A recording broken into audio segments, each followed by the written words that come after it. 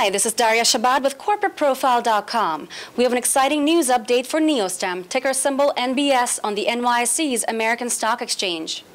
Neostem's fully owned subsidiary, Progenitor Cell Therapy, just announced key additions to its management team to meet the demands associated with its contract development and manufacturing activities, including those associated with Neostem's other subsidiaries, which add to Progenitor's client list.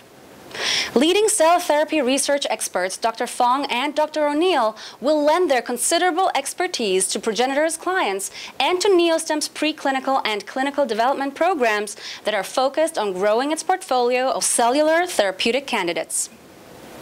According to Dr. Robin L. Smith, chairman and CEO of Neostem, these key additions will add to Neostem's reputation in the industry as the go-to company to enable effective development and contract manufacturing of cellular therapeutics for their expanding client base.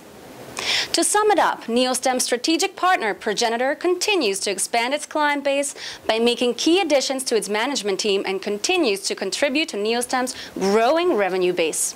This is why Neostem, ticker symbol NBS, is definitely a buy. Again, this was Daria Schabad with CorporateProfile.com reporting from Wall Street.